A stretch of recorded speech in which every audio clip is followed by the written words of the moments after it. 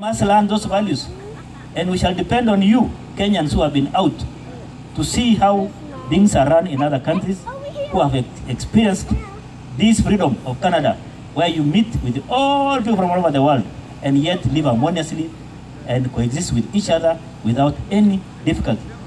Tunataka hii mambo mpeleke kule nyumbani, na hiyo message mkiongea na watu nyumbani, that message you send home and we learn just to live like people live in Canada with each other, irrespective of our color, our, our gender, our tribe, our religion, anything. Kama sivyo? Tena ni- nikisema hivyo, let me also say that I've just found about Canada. As you love your country, Kenya, I think you have been welcomed in this country with open arms. Your MPs, both members of the provincial parliament uh, who came here, your own member of parliament in Ottawa have come and spoken. They have participated in your function.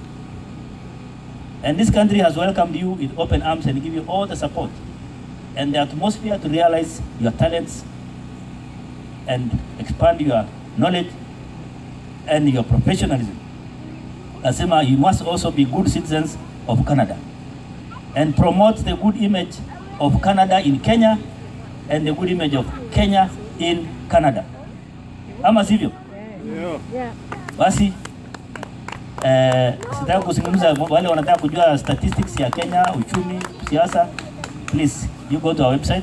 I just want to, to join what Flora uh, said, registration. Please register. Register with KCO, register with Kekalo, register with Kenya High Commission so that we can communicate with you. We can inform you of developments in our own country. And there are many developments. And I'm very happy that uh, uh, watu wa KCB wamekuja hapa to promote uh, their bank.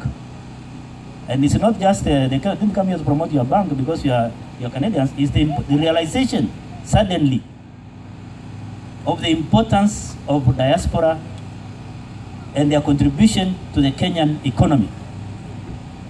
Last year, the Kenyan diaspora remitted 156 billion shillings to Kenya.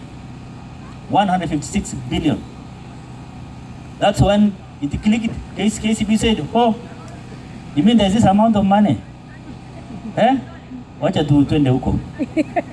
And we welcome them in open arms because you have answered, you're going to answer some of the questions which they have been asking me. Now they are going to ask you hear from the horse's mouth. Wale wanasema you are being conned when you try to invest in Kenya, uliza maswali pale, waseme kwa nini pesa yetu inapotea tukituma Kenya. Ama Jennifer, why you here? Hiyo maswali utajibu, and you advise them how they should avoid being conned by conmen, by relatives, uncles and sisters. Utawapatia nafasi how to avoid all those pitfalls people have suffered here at the hands of relatives. Uh, the other banks will be coming. This is just the first one. And I want to encourage KCB to listen to Kenyans. Don't develop products which you think you want to sell. I want you to talk to them and develop the products they want. Wanataka product fulani, nyinyi mwende mfikirie vile mtaanza hiyo product. Ndio. Hapo. Kama loan, loan lazima ipatikane kwa Canadian dollar for Canadians. Yes. Kenyan Canadians. Kama sivyo? Hapo, eh. Yes, hiyo mwende mlete hiyo product. Eh. Hapana kuja kutuambia US dollar safari hii hapana nzuri, hatuwezi saa hii. No, no, umesikia? Tafuta hiyo product na ulete next year tutangaze hapa. Uh, we are going to talk to you. You know the elections coming. You should visit the website of IEBC regularly. I think they'll require you.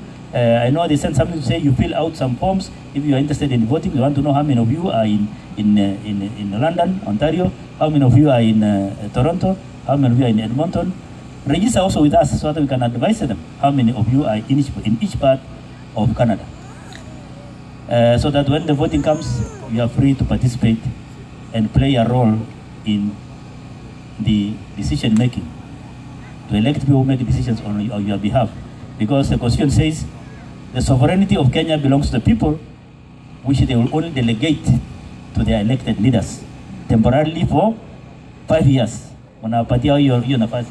Ikifika miaka tano, unaambia sasa, rudini, we, we, we see if we shall elect you again or we take back our power from you and hand it over to somebody else. So, with those few remarks, let me once again uh, thank KECALO. I also want to recognize KCO. Wapi Gito- Gito- Gitome? Asante Bwana Gitome. Uh, you are here, please. Asante sana. These people are doing a great job. KCO, juzi tulikuwa na mwanafunzi Cuba because mimi pia ndio balozi wa Kenya Cuba who was stranded could not get a ticket and they came up together and raised $2,000 bought a ticket for that young doctor stranded in Cuba and she's gotten a ticket now. She'll be flying to Kenya uh, to go and serve her community as a doctor. You know we have shortage of these people. And I want to thank you very much and your community and your committee for that effort